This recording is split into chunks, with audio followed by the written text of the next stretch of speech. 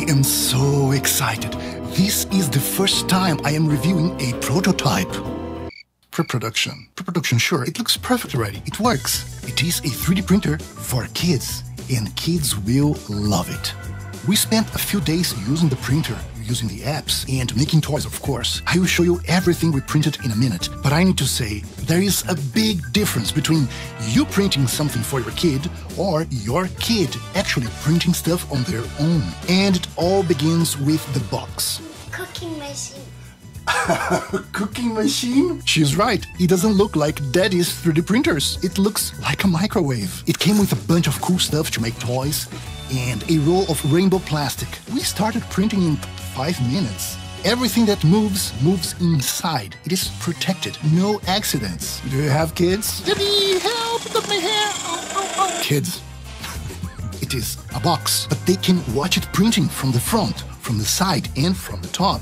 And it has lights, LEDs inside the box, LEDs on the nozzle itself, and LEDs outside. When Sophie saw the lights, the colors, she wanted her printer close to her bed. Love at first sight. But when you see 3D printer for kids, you have to ask, is this a toy that kind of 3D prints or a 3D printer to make toys? Toy printers, all in plastic, they have a bunch of flex, very inexpensive stepper motors. They have the bare minimum parts to make them print, and they print very tiny things. The X-Maker is a 3D printer. It has a metal structure, it's quite heavy actually. NEMA 17 stepper motors, part cooling fan, magnetic surface on a heated bed, dual Z-axis, filament runout sensor, Wi-Fi, USB port for flash drives.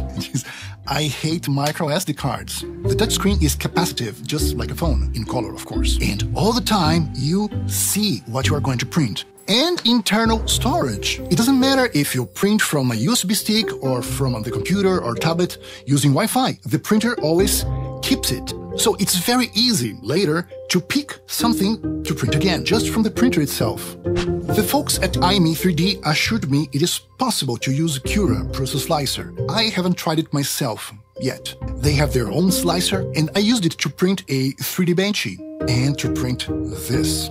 So you don't need to print just toys. Let's discuss the Benchy at the end of this video. Kids will use the X-Maker app and the app makes the whole thing special for kids with a bunch of cool things ready to print.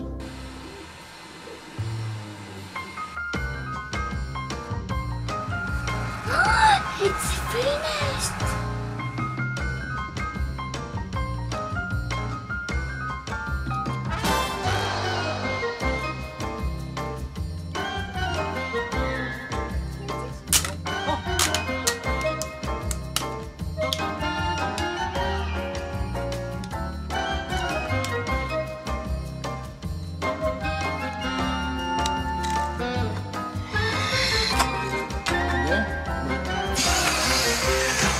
It's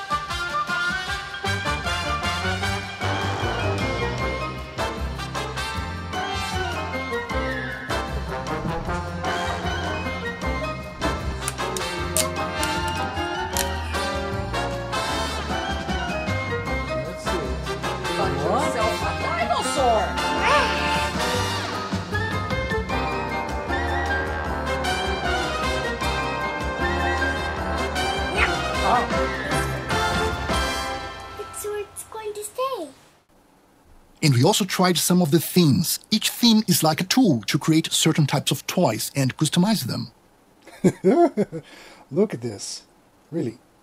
Themes, hands down, the best thing of the app. This is everything we could print just with the spool of filament that came with the printer. The spool finished when we were printing a warrior doll, and that was a cool test to see if the filament sensor works and what the printer does. The filament sensor worked. Job was paused. I had to cut here in the middle, pull the tip up, and pull down what was inside of the tube. I didn't see an option to unload the filament mid-print, but okay, I manually fed the new spool and told the printer to continue printing. Filament runout sensor is so useful. The warrior doll looked beautiful. With my super strength, I can do anything. I chose the option to print the version that uses Technic connector pegs. Oh. Even so, the doll builder still needs tweaking. Okay, okay, okay, okay, later. The app for Windows has more advanced modeling options for older kids. They tried to make 3D modeling easier and more fun. I still think it's very hard. I would just stick to the things and themes and make them grow. And when you print, the slicing process desperately needs a progress bar. Back to the printer. Our home has two Wi-Fi networks. The printer worked fine on the 2 GHz. It did not connect to the 5 GHz Wi-Fi. The printer can also create its own hotspot, and it worked much faster having the iPad closer to the printer because Wi-Fi is not so great in my daughter's bedroom. Anyway, once the printing starts, it always finishes well because the file is already on the printer itself. The build volume is not far from the Prusa Mini, much bigger than the toy printers. The speed is okay to slow, but the print quality is very nice. No tweaking, no tweaking out of the box. And David Eastman is an insane artist. So, is this printer for you, for your kids, or students? I need you to know that I was not financially compensated to make this video, so here are my thoughts. I think it's awesome when a printer out of the box prints a 3D Benchy like this. No stringing, good overhangs, very, very smooth. This side is perfect. The other side got a bit overheated. I think it could be fixed tweaking the settings, but even better would be a second part cooling fan. I would also love auto leveling with a touch sensor to avoid using rafts. And a bigger print area would be cool as well. See where we go? That would make it a printer for me, not for my kid. What made this whole thing very special for my daughter is one, the amazing collection of cute toys ready to print, and even more was a printer that is and looks simple.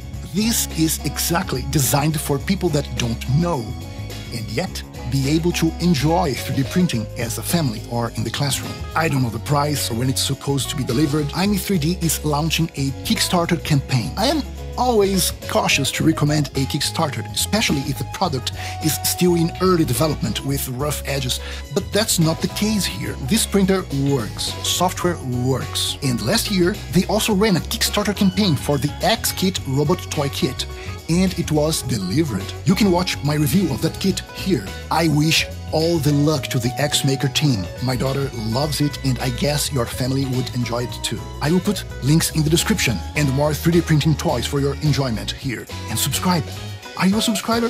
Oh, you are the best! A second cooling part fan would be an awesome stretch goal.